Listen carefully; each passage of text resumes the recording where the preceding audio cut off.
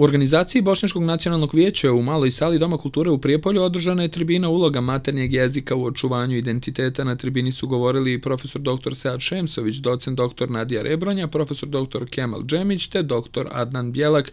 U uvodnom dijelu tribine prisutnima se obratio predsjednik izvršnog odbora vijeća dr. Fuad Bačićanin. Čestitao je dan maternjeg jezika svim prisutnima uz poruku da su rezultati evidentni, ali da ne možemo biti zadovoljni sve dok, kako kaže, i jedno dijete nastavu sluša na maternjem jeziku. Narodni dan maternjeg jezika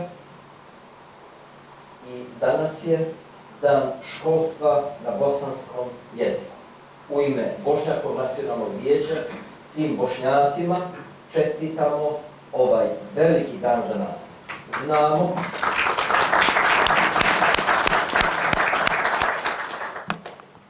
znamo da je jezik temeljna odrednica identiteta jednog naroda i uopšte jednog čovjeka. Zbog toga svoj jezik moramo čuvati, njegovati i ako Bog da od ove godine pored Brodareva u Prijepolju krenuti sa kompletnom nastavom na bosanskom jeziku. Neće niko određivati bošnjacima kako će se zvati njihov jezik u svom obraćanju podvukao je dr. Adnan Bjelak, Ko je taj ko će određivati meni kako mi se zove jezik? Ko je odredio da se hrvatski jezik zove hrvatskim jezikom? Ko je odredio da se srpski jezik zove srpskim jezikom? Ko je odredio da se crnogorski jezik zove crnogorskim jezikom? I ko će odrediti da se bosanski jezik zove bosanskim jezikom? Ili da se zove bošnjačkim jezikom?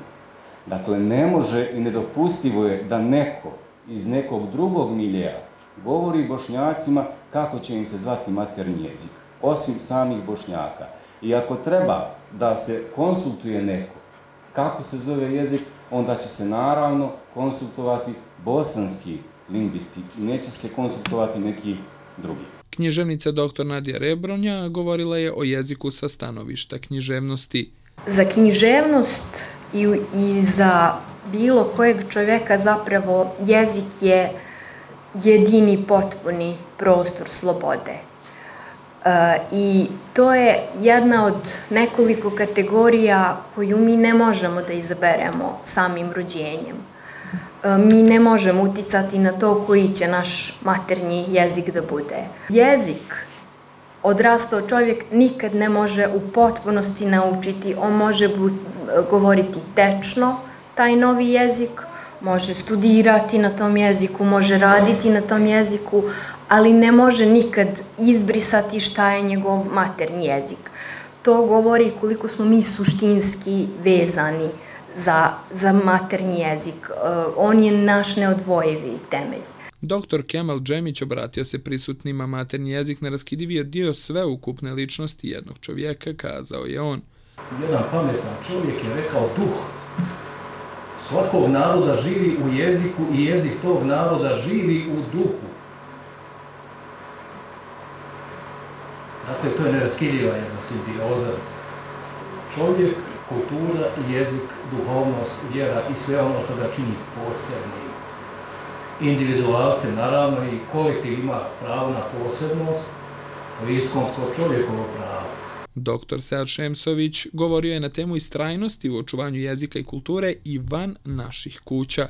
Ukoliko se mi sada pomaknemo iz te svoje e, zone komfora, što bi rekli, pa sada pređemo u neku drugu prostoriju, kao što je kabinet direktora škole ili naša kancelarija kada smo mi pedagog u nekoj školi ili e, zbornica kada smo mi nastavnik, tada zapravo dolazi do promjene onoga što smo sami kazali na popisu stanovništva.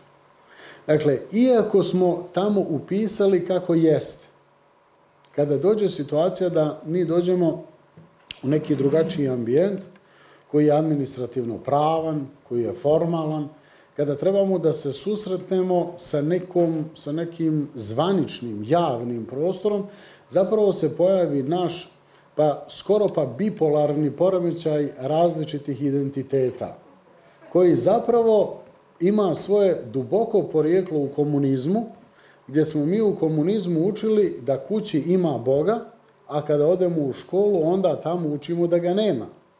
I mi smo se navikli na to da jedno pričamo kod kuće, a da drugo pričamo kad se pojavimo u školi i da to u školi treba da prilagodimo zvaničnom mišljenju i zvaničnom stavu.